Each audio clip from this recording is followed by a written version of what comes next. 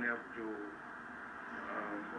سانس لینے کا جو جو نالی ہے، وہ انہوں نے اب گردن سے آپریشن کر کے گزاری تو آپ دعا کریں اللہ تعالیٰ ان کو صحت دے، شفا دے۔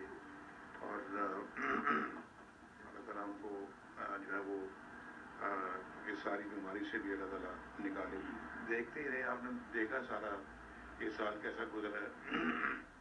اب سال پورا ہونے والا ہے۔ دو تین ہفتے رہ گئے ہیں۔ اور اس سال کے اندر جو کچھ ہوتا رہا ہے وہ آپ کی نظروں کے سامنے ہے۔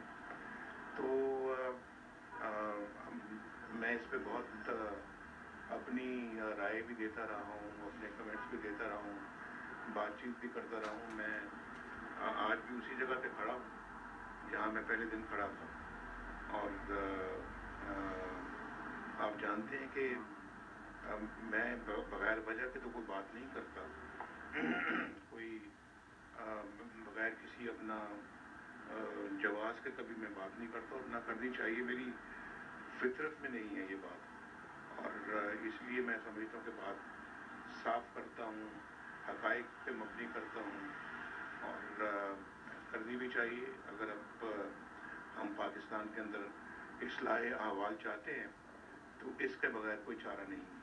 انتخابات سے چند روز قبل یہ فیصلہ آنا انتخابات سے روکنے کی آپ کو لیے اس لیے میں نے اس لیے میں نے ووٹ کو عزت دو کی بات کی ہے اور میں قائم ہوں اور ابھی جو آپ نے سوال کیا ہے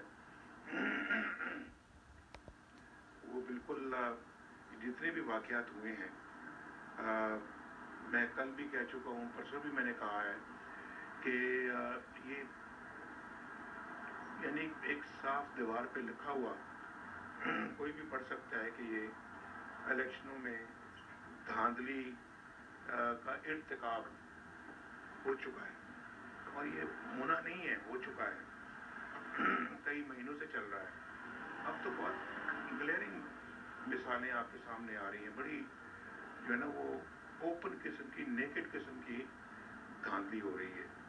اور یہ الیکشنز میں جو اپنے من پسند نتیجہ نکال کے اگر یہ بہتری تو کوئی نہیں ہو سکتی، لیکن اگر خدا نہ خواستہ نقصان ہوتا ہے، تو اللہ نہ کرے وہ ملک کا نقصان